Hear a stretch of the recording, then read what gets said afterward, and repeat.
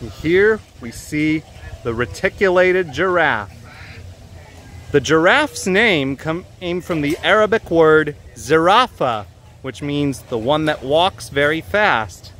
The other part of the giraffe's Latin name, Camelopardalis, came from the fact that in old folk stories, it was believed that God created the giraffe from spare parts of camels and leopards.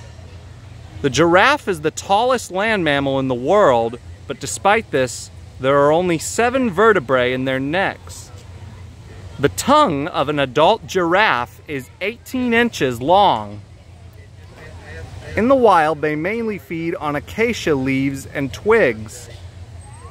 They don't do much chewing before they swallow, mainly because, like cows, they ruminate or chew their cud. Giraffes give birth standing up, which means that when a giraffe calf is born, it has a five foot fall to the ground.